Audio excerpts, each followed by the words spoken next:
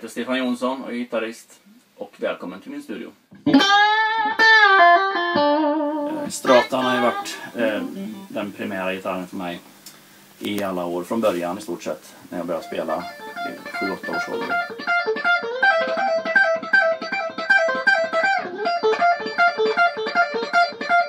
Inspirerad av eh, Mark Knopfler, Clapton, Jeff Beck, Jimi Hendrix.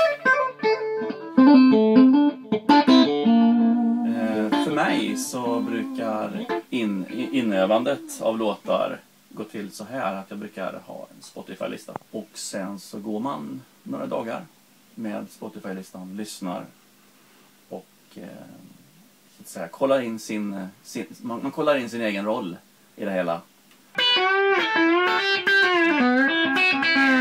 Och sen sätter man sig helt enkelt vid köksbordet och övar faktiskt, det låter bra.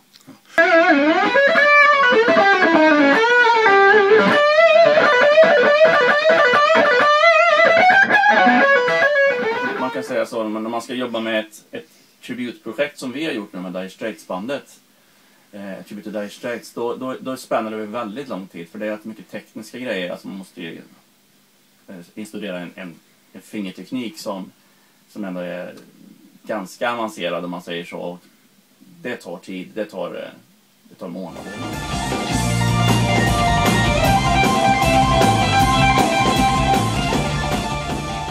Improvisationer kommer till av just, eh, det blir ett resultat av den här, eh, de här månaderna av förberedelse. Man skaffar en, som man brukar säga, en ryggsäck av licks eller av eh, chops som vi kallar det i gitarrister.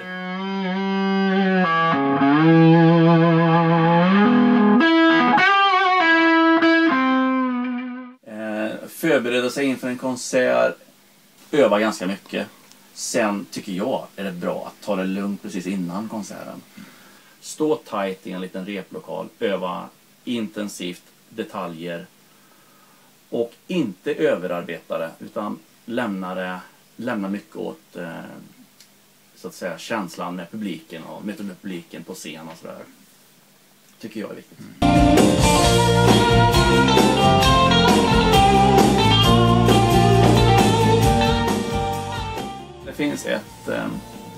Ett minne och jag ska vara riktigt ärlig så vet jag inte ens hur gammal jag var. Jag kan inte ha varit mellan 7-8 år.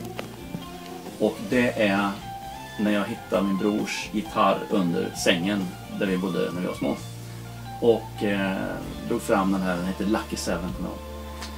Och eh, från det ögonblicket vet jag, det vet jag nu liksom, att från det ögonblicket var jag fast. Och har i princip aldrig släppt gitarren sedan dess. Det är alltså